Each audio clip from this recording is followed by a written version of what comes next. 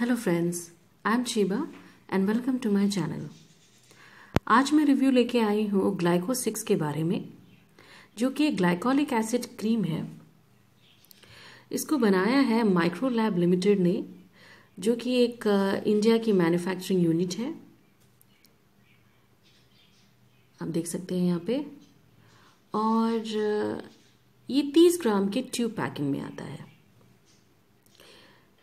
Basically work करता है acne pimple marks को हटाने में pigmentation hyper pigmentation sun damage wrinkles skin ageing इन सबको हटाने के लिए बहुत ही ज़्यादा बेनिफिट है बेनिफिशियल है।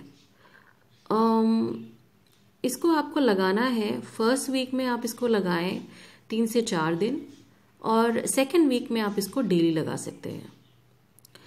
इसका एक और एक वेरिएंट आता है ट्वेल्व परसेंट में।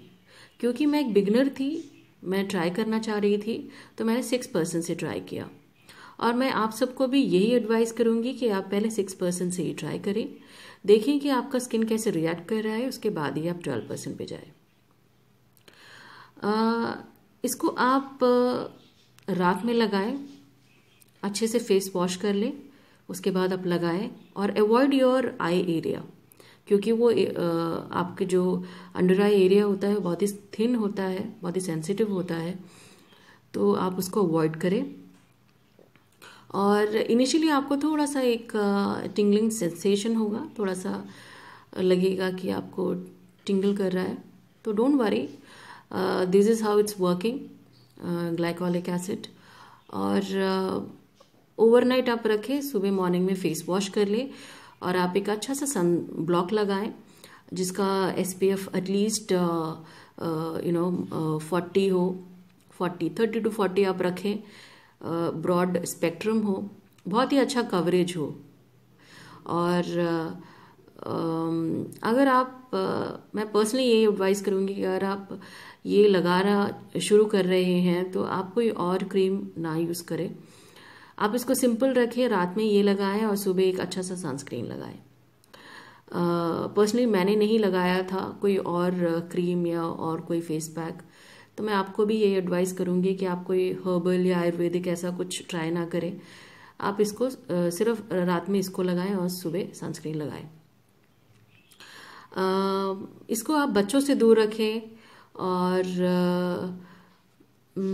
ये बेसिकली वर्क कैसे करेगा? आपकी स्किन को पहले तो ये ड्राई करेगा, उसके बाद आपका जो स्किन का फ़र्स्ट लेयर है, वो उसको हटाएगा।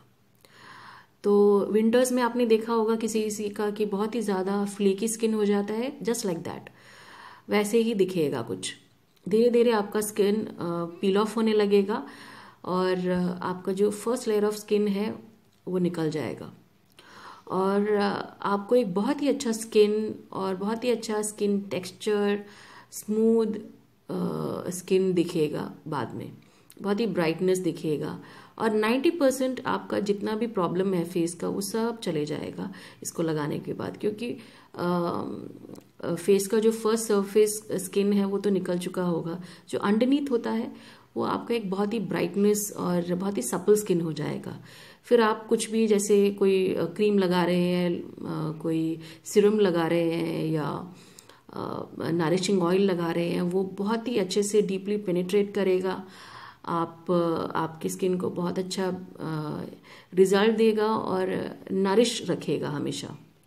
तो it is actually very important to exfoliate your skin और ये एक बहुत ही अच्छा सॉस है, क्योंकि जो हाई एंड क्लिनिक्स में होता है कि वहाँ पे जो केमिकल पील होता है या ग्लाइकोलिक पील होता है, वो बहुत ही ज़्यादा परसेंटेज होता है।